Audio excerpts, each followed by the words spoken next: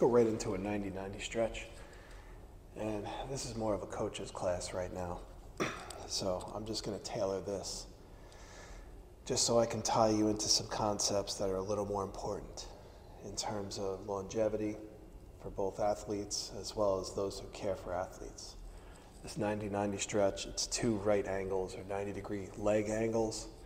What this does is it simultaneously works both hips at different angles, slightly accentuating internal and external rotation.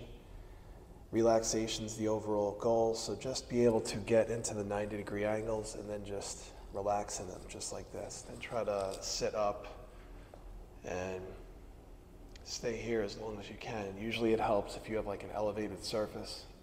This is when things like yoga blocks come in handy. You can lean on them. It makes it easier because your fingers will get tired. They're going to get strengthened too. Helpful positions here.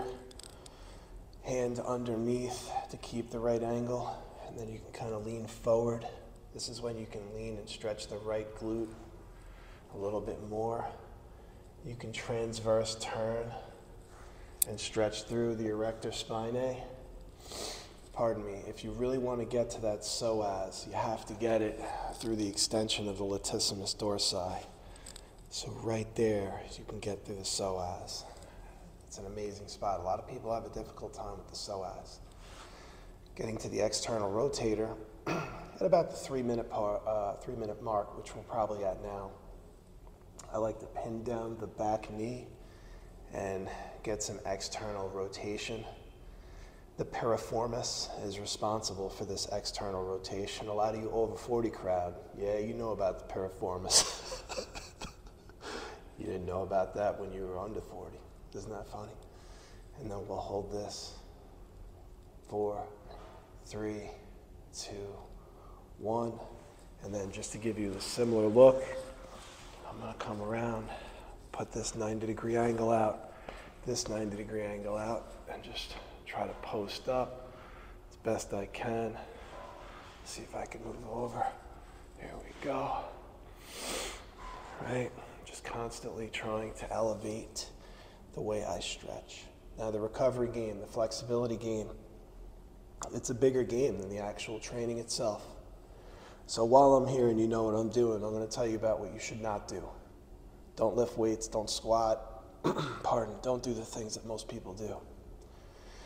It's just because it's been done doesn't mean it should be. Basketball players, the jumping and landing that you do, that's your force application.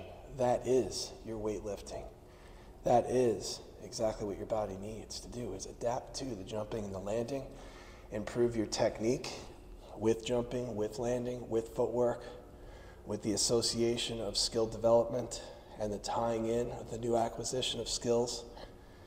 It all comes down to jumping and landing and sports skills, not weightlifting, which is a paradox because I'm in a weight room. But what am I doing? Stretching. Why? Open space. It's quiet. I can come in here. We can do this kind of work. Underneath the knee to maintain. And again, just like before, we can stretch forward to get kind of the erector spinae if we want to get at that psoas. It's through full extension of the latissimus dorsi.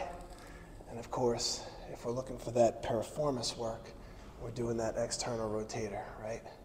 Let's go ahead and get 10 of these. Four, five, six, seven, eight, nine, and we'll hold here. And then we'll come through. And we'll go hurdler stretch. So what we're gonna do here, hurdler, and then instead of coming up with the leg, what I want you to do is I want you to externally rotate, make your ankle flat this way, and then lean back. This is hurdler stretch. I'm just going to talk to you while we do this. So with your jumping, your frequency is you're going to do it at the same frequency you do swamp lunges and your lateral lunges with. Train, recover, train again. What's it usually? Every three or four days. That's how it goes. It's a natural training frequency. It's what your body needs. You'll adapt over time, but with over time, your activities may evolve as well. every time you add something, basic relativity says something has to be taken away. You can't just keep adding to a full cup, it's going to overflow. With more accentuation of the quad, you can kind of move back a little bit. You can go to the side, lean back. I like this too. The longer you take time to stretch, the better it's going to be for you. You might not feel it right away, but later as you're moving, the alignment's going to take place. A lot of athletes will reach out to me. Let's go ahead and switch now. Do this very slow. Bring it up like this. Over. Extend.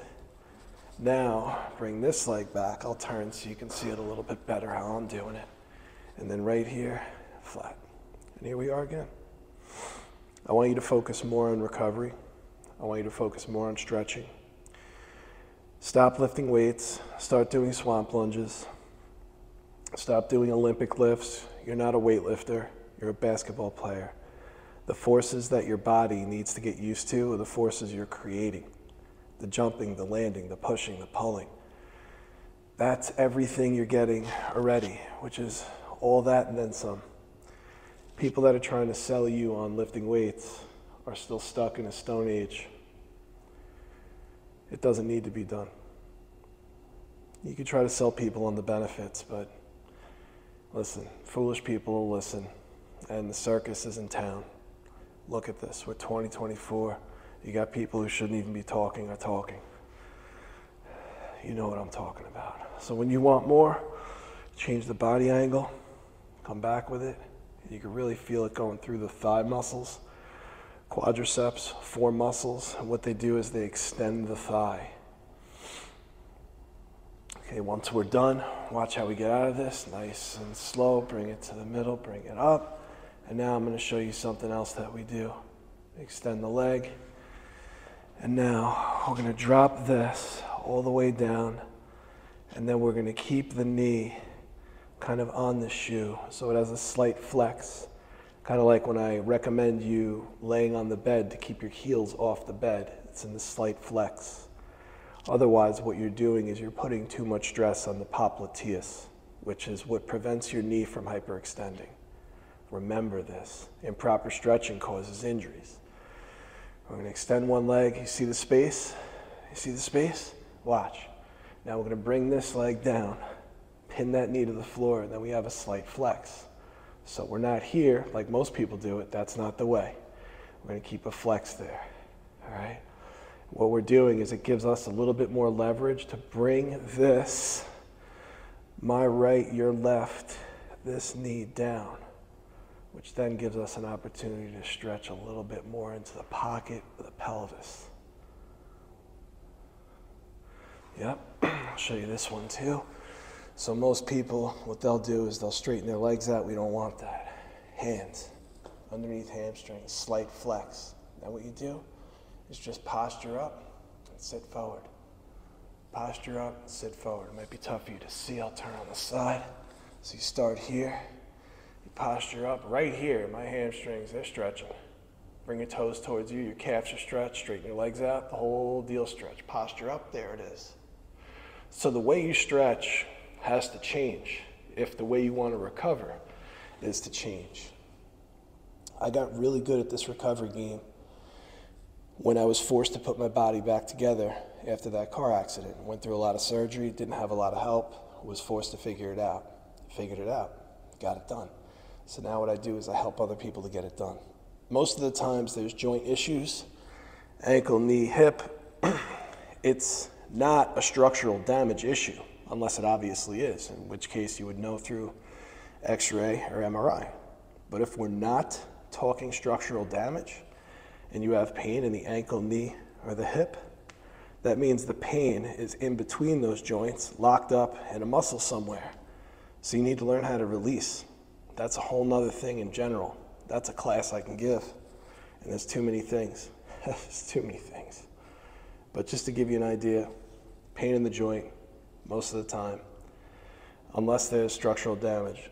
it's because of energy or muscles that are storing trauma and it needs to be released. Techniques that involve two joints and sometimes three multi joint movements can release those joints. And it's all to do with muscles. Soft tissues trap trauma, soft tissues affect the way joints move, and if you're not paying attention to flexibility and what happens inside the body when it stores trauma, then what's going to happen is the body's not going to be as optimal as it should be. All right? So, just to wrap this class up, recovery has to be the priority. Sleep is number one, flexibility, the way you hydrate, the way you emotionally cope, the people that are around you, your energy, the way you carry it, all that goes into the way you recover. Actually, your lifestyle has more to do with being happy to recover than anything else. Happiness is going to be the main ingredient that keeps you encouraged and that keeps you linked to your higher power, that keeps you grateful, and that keeps you returning to the positive PEP program, the way you speak to yourself and live your life. So, this is Coach Lemanczyk asking you to take more of a stake in recovery, create some more time for yourself, learn some new things in terms of ways to stretch your body and take time with it. If you're not good at yoga, do yoga. Do Qigong. Try new things that you don't know, and then watch those things benefit you.